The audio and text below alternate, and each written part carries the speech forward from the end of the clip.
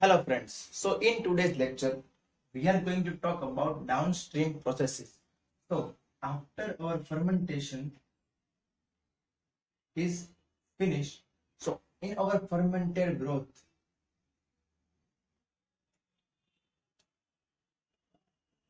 there is a our product.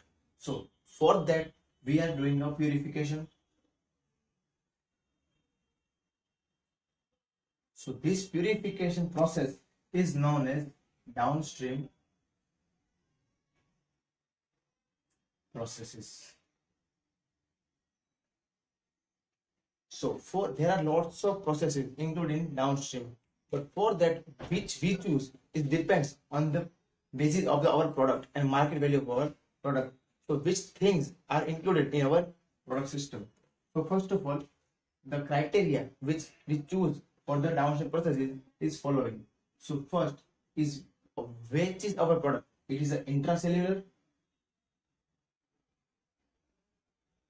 or extracellular.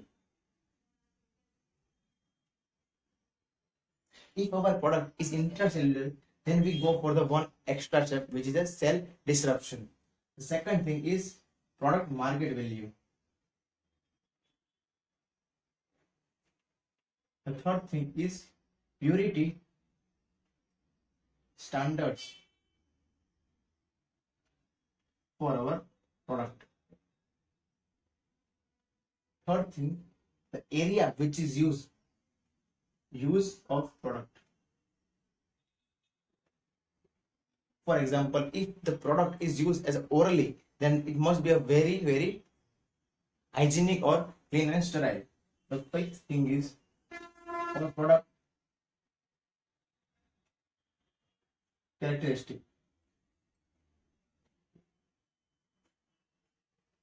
That which is soluble, non-soluble. So there are the criteria for selecting the downstream processes. So which steps are included in the downstream processes? So here's our fermented broth.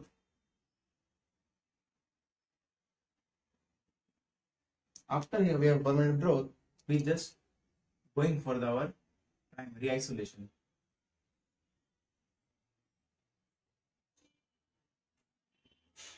Before that, we are doing the cell separation.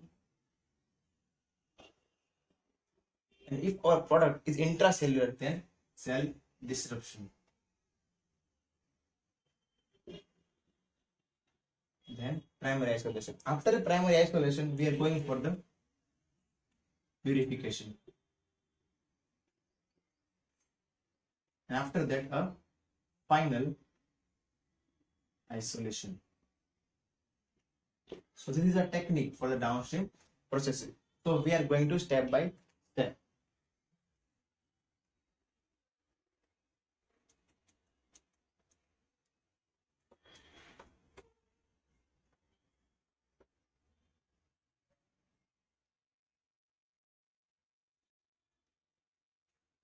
So the first step of downstream is separation. So in separation, we are separating our fermented broth and the cells present in the our broth. So there are lots of technique to separate them. First is foam separation.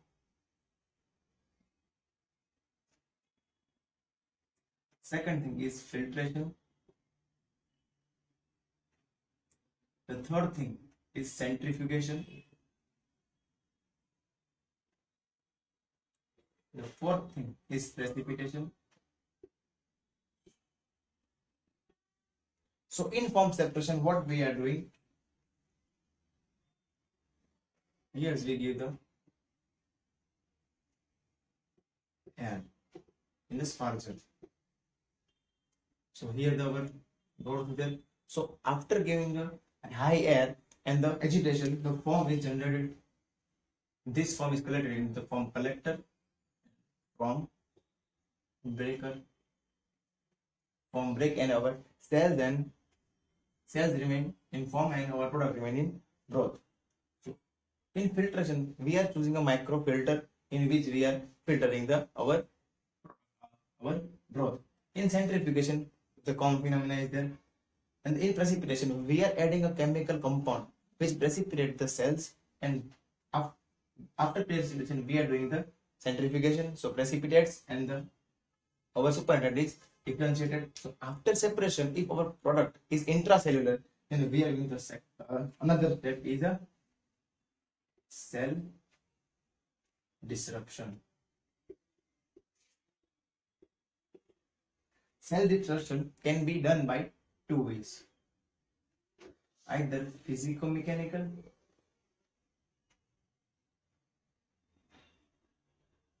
or chemical. In physico-mechanical, we are giving a physical stress by following methods. Liquid shear, solid shear, agitation with abrasive, ultrasonication.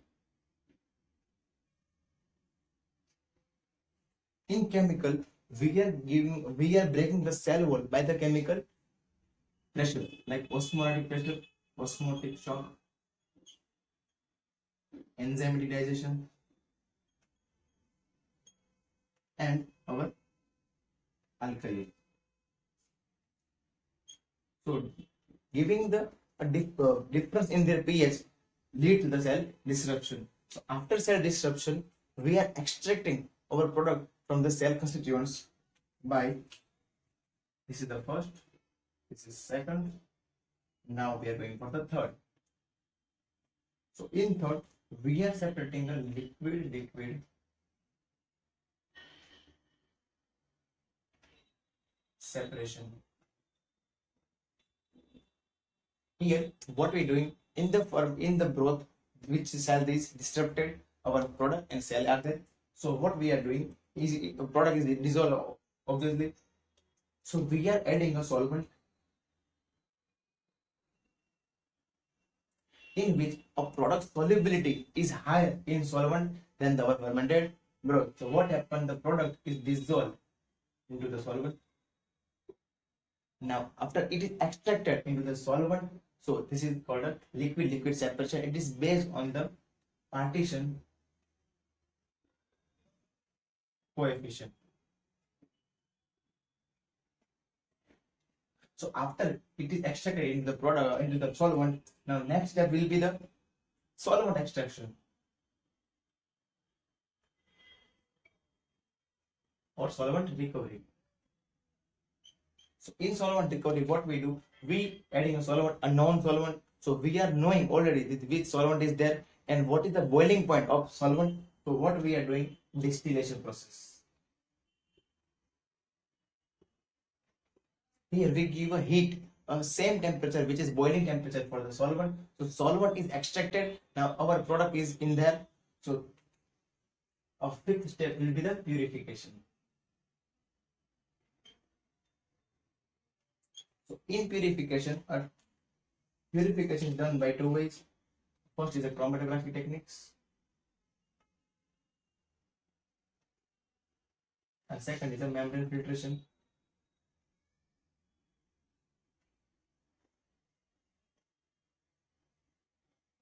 In chromatography, we use various chromatography like ion exchange chromatography, affinity chromatography,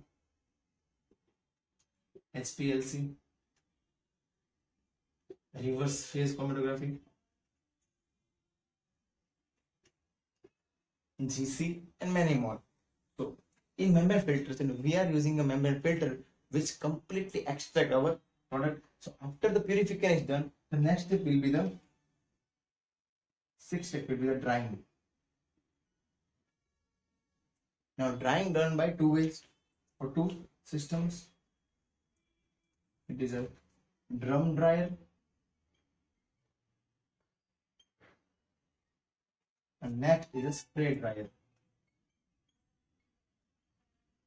Spray dryer mostly used for the heat labile product. Now, after the drying is done, the next step will be simple. It is a packaging. So this is the all about the downstream processes. So capital cost will be the higher in downstream processes. And what we're doing is first with the separation of cells by this method foam separation, filtration, centrifugation and precipitation. After the cell and broth is differentiated, if our product is intracellular, then we go for the cell disruption by two methods, physico-mechanical and chemical. Physico-mechanical have liquid shear, solid shear, agitation with abrasive and ultrasonication. In chemical, osmotic pressure, enzymatic digestion of cell wall, and the alkali is using. After cell is disrupted, we going for the liquid-liquid extraction in which we add some solvent in which a solubility of product in solvent is higher. So it is extracted into the solvent. And after that, so solvent recovery is there. So our product is remain. This product is separated completely pure separated by chromatography technique or membrane filtration. And after a pure product is getting the drying is there via drum dryer and the spray dryer and the packaging and the sell market is uh, happening. So I hope you like the video. Share, share to your friends and stay connected with Ravi's microbiology. Thank you.